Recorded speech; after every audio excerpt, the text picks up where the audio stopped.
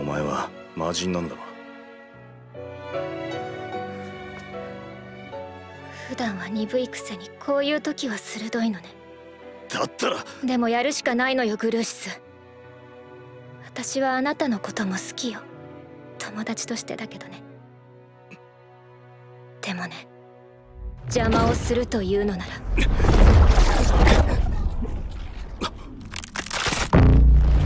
あなただって殺すわお前その覚悟まさか死ぬ気なのか？だがなぜ？主に命令されているのか？そうかそうなんだな。答えろ！魔王クレイマンは手下を使い捨てにするって有名だったな。ひょっとして。黙りなさい！それ以上喋ったら。やっぱりそうなんだなお前が死を覚悟してまで従うってことは。その話詳しく聞かせろよ。ヨウムミュウランなんか事情があるなら話せ。俺が守ってやる。バカなの。この姿を見たらわかるでしょ。私は魔人なのよ。それが何だってんだ。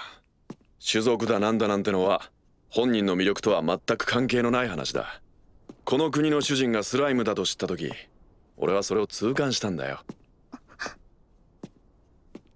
お前が好きだミュウラン。俺と相手を守りたいってのは自然な感情だろう。今までの私はあなたを騙すために作り上げた虚像に過ぎないのよ。あなたが惚れた相手は実際には存在しないわ。安心しろミュウラン